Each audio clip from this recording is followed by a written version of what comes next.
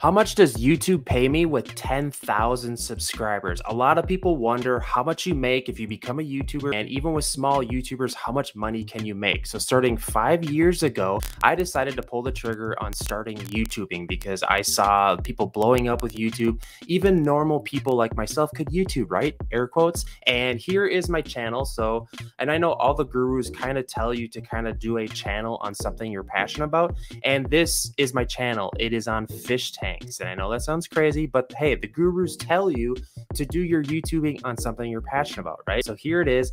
And what I did was I concentrated on making educational videos. I did a lot of different videos, different styles on like things I thought might be cool and stuff, but I had the best luck with just doing educational stuff because like in niches like this, people research things. And what's great about these educational videos though, is they get nonstop traffic once you can rank in YouTube. And I found a little bit of success with just like uh, what actually I bought a couple different courses, and there was one course in particular that really kind of next leveled me. It was somewhat expensive, but if it interests you, I'll throw a link to it in the description. It's Matt Par's Make Money Matt YouTubing. The course is phenomenal and it helps you learn everything. But guys, let's get into the nits and gritty of this. So, go in, into the YouTube studio. I want to show you guys how much money I have made over the past month and over the past year. So, this is how much YouTube pays me with 10,000 subscribers. And I know there's a lot of people watching this that are like wondering,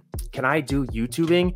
And the answer is yes, because now that I've done this one channel, I actually have eight other channels and I'm almost making a full time income on YouTube. I repeat, I'm almost making a full time income. So, and here it is. Let's get into it. So, this is the dashboard here. So, if we click on the analytics tab here, this is for the last 28 days.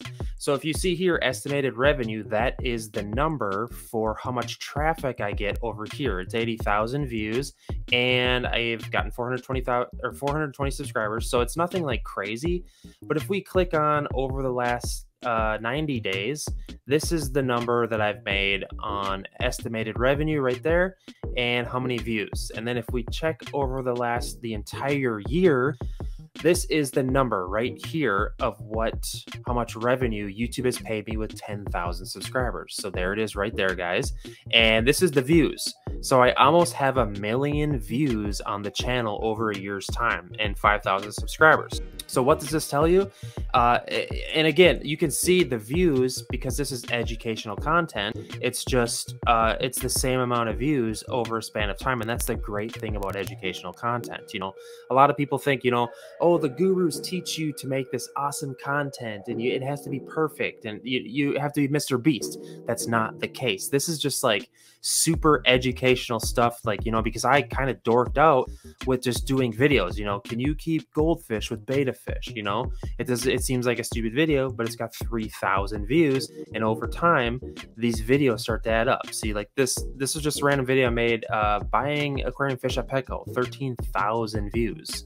How to clean your aquarium. You know, just educational stuff that you know. If and now what happens is when I create when I kind of dork out with a hobby, I create a YouTube channel around it and I make educational content as I learn it. It's a great way to, to just have a supplemental income.